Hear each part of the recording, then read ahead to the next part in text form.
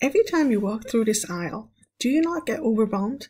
There are so many oral health products, and if we as dental hygiene professionals are getting overwhelmed, imagine our clients, imagine our patients, imagine what they must be feeling. They have no idea which product is the right one for them.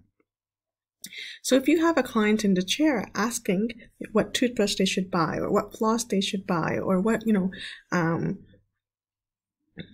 whitening strips they should buy, what you need to look for are the CDA seal of approval or the ADA seal of acceptance. So let me show you what they look like.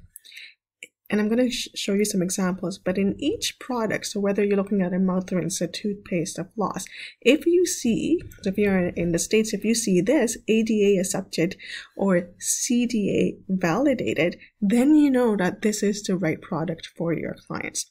And wh why does this matter? What does this seal mean? Well, this seal is very important because it validates the claims that the manufacturers have been making. So let's say you're a manufacturer and you just uh, came out with a new toothpaste. If you want the CDA um, approval, seal of approval, what you need to do is you need to go to the CDA website and you need to apply to get this seal of approval put on your product. And when you apply, it's a rigorous procedure. What you need to do is you need to submit your claim. So if you claim that it reduces bleeding, if you claim that it reduces inflammation, you need to state that and you need to submit evidence to support your claim. So studies, data to show that it works.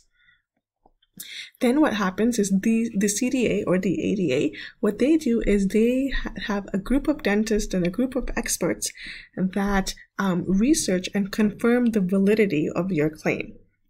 And there are many products that get reject, rejected, but there are some, or, or, and now is growing, there are many now that do meet the requirements. Not all manufacturers have to go through this, um, you know, and apply for CDA or ADA. It is voluntary. But for those that do, um, know that it is a rigorous procedure. Know that it's not easy to get accepted. So let's see what products have the CDA seal of approval or the ADA seal of acceptance. I'm going to go to the website let's start with the CDA website. So this is the CDA website, and I'll drop the link down in um, the, the notes. But what you're going to see over here, when you go to the CDA seal program, there's a link that says how to apply, and then there's a link that says products. And if you go through the products, you're going to see that there are many different products that have this seal of approval. And interestingly enough, you'll see that Oral-B, which is the power electric toothbrush, is included in the seal of approval.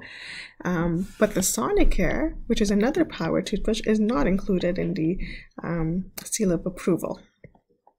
So there's many toothpaste, right? There's Sensodyne. So if you're ever unsure, make sure you can find that seal of approval and it would be somewhere in the box.